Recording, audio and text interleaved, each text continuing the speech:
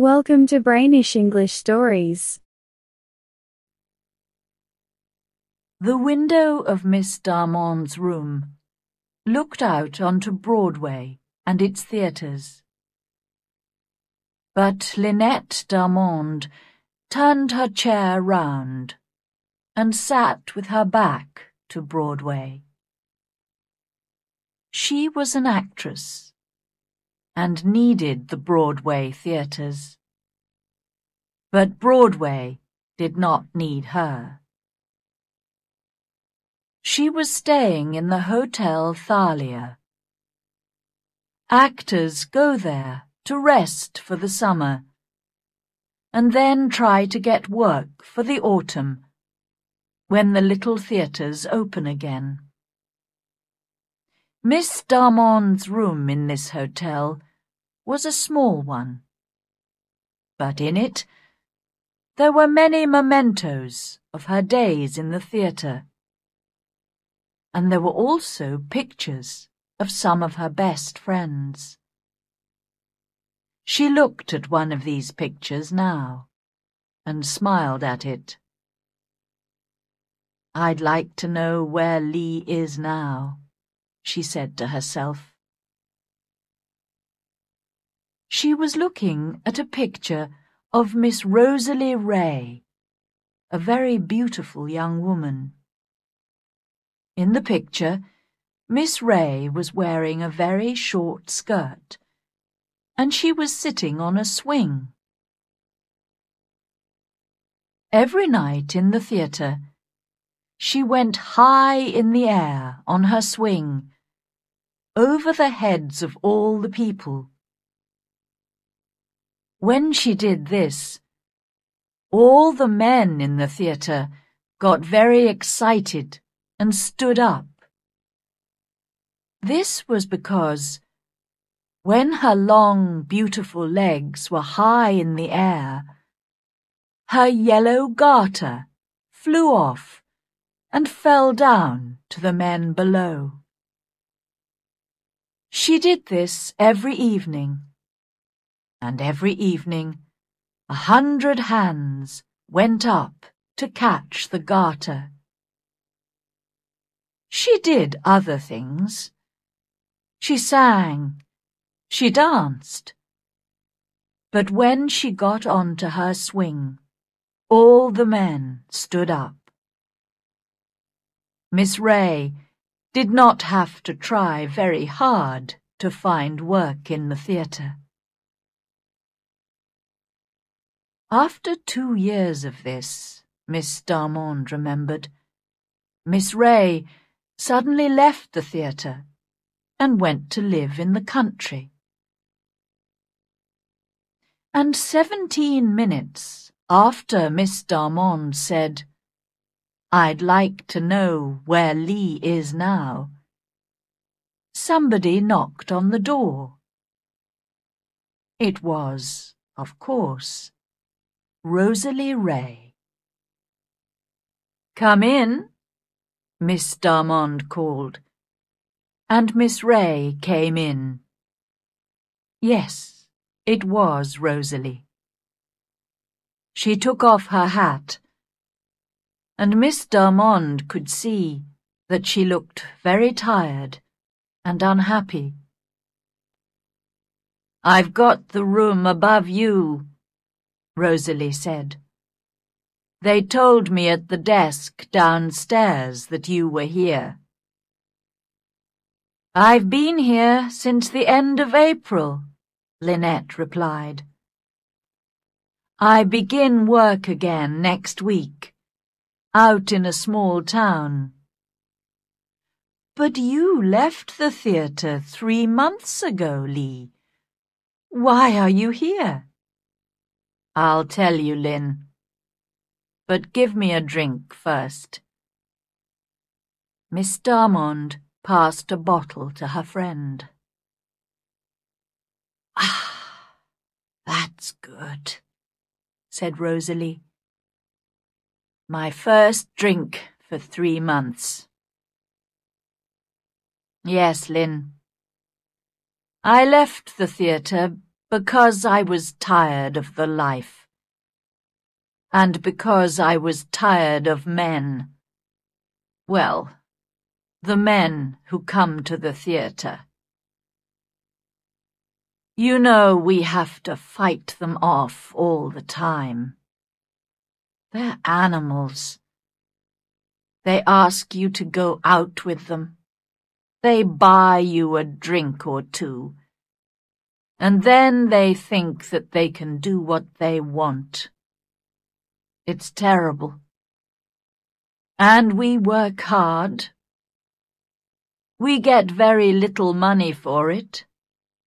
We wait to get to the top. And it never happens. But most of all, I left because of the men. Well, I saved two hundred dollars. And when summer came, I left the theatre and went to a little village by the sea on Long Island. I planned to stay there for the summer and then learn how to be a better actress. But there was another person who was staying in the same house. The Reverend Arthur Lyle. Yes, Lynn, a man of the church. When I saw him for the first time, I fell in love with him at once. He was a fine man, and he had a wonderful voice. Well, it's only a short story, Lynn. A month later, we decided to marry. We planned to live in a little house near the church, with lots of flowers and animals. No, I didn't tell him that I was an actress. I wanted to forget it and to put that life behind me. Oh, I was happy. I went to church. I helped the women in the village. Arthur and I went for long walks. And that little village was the best place in the world. I wanted to live there forever. But one morning, the old woman who worked in the house began to talk about Arthur. She thought that he was wonderful too. But then she told me that Arthur was in love once before, and that it ended unhappily. She said that in his desk he kept a memento, something which belonged to the girl Sometimes he took it out and looked at it. But she didn't know what it was, and his desk was locked. That afternoon, I asked him about it. Ida, he said.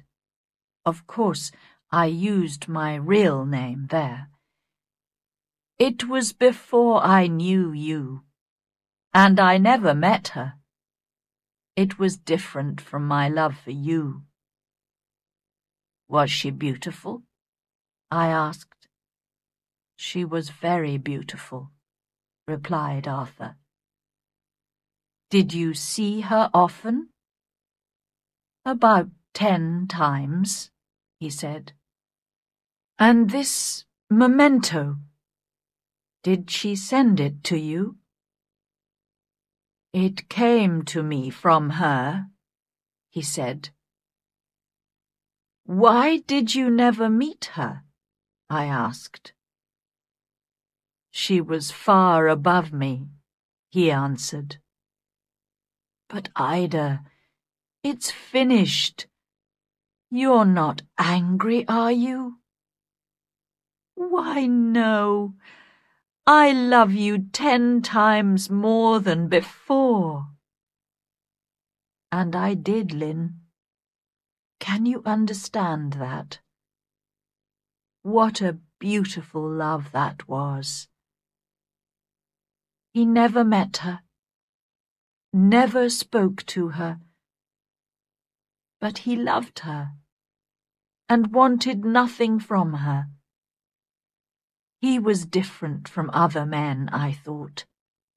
A really good man. About four o'clock that afternoon, Arthur had to go out. The door of his room was open. His desk was unlocked. And I decided to look at this memento. I opened the desk, and slowly I took out the box and opened it. I took one look at that memento. And then I went to my room and packed my suitcase. My wonderful Arthur. This really good man was no different from all the other men. But, Lee, what was in the box? Miss Darmond asked. It was one of my yellow garters, cried Miss Ray.